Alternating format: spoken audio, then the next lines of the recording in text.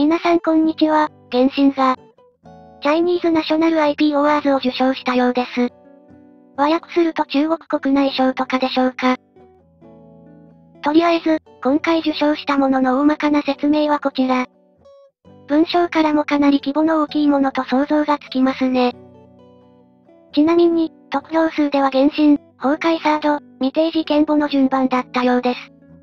この4位の作品は PUBG なのかな、なぜか4位の作品が最終的に2位に繰り上げられています。海外では賄賂の香りがすると、噂されていましたね。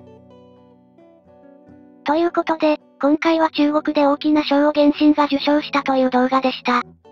受賞記念で原石を配ってくれると嬉しいですね。という感じの動画でした。高評価チャンネル登録よろしくお願いします。それでは、ご視聴ありがとうございましたさようなら。